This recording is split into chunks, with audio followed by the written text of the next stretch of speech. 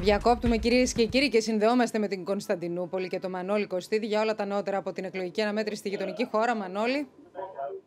Προεδρευτή των προεδρικών και βουλευτικών εκλογών, ο Ρεζέπ Ταγί Περντογάν με ενσωμάτωση 90% πια των ψηφοδελτίων. Ο Ρεζέπ Ταγί Περντογάν παίρνει το 53,5%.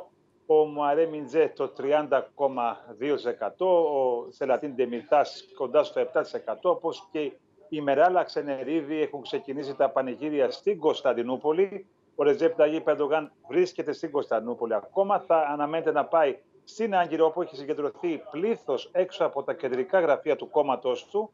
Ε, πολύ αργά θα φτάσεις στην Άγκυρα, φαντάζομαι, έτσι όπως βλέπω το πρόγραμμα, περίπου τα μεσάνυχτα, όπου θα κάνει την ομιλία στο μπαλκόνι. Mm-hmm. Στο κοινοβούλιο δεν έχει μόνο στην πλειοψηφία. Ε, Στις 404 αυτή τη στιγμή έχει 297, μάλλον θα πέσει 290. Mm-hmm. Όμως μαζί με τον Ντεμπλέτ Μπαχτή, το σύμμαχό του, θα έχει και την απαραίτητη πλειοψηφία. Το Νομίζω, έχει μπει ε, στην, ε, στη Βουλή πια, έτσι δεν είναι; Δεν άκουσα. Το Κουρδικό Κόμμα έχει εξασφαλίσει ποσοστό άνω του 10%.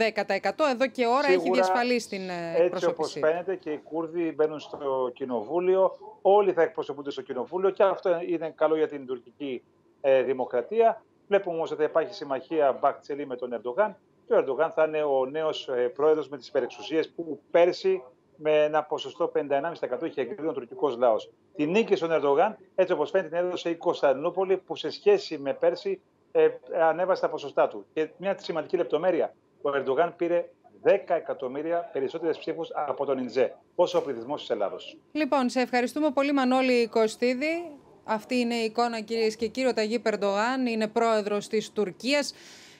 Αυτά προς το παρόν από εμάς. Γεια σας.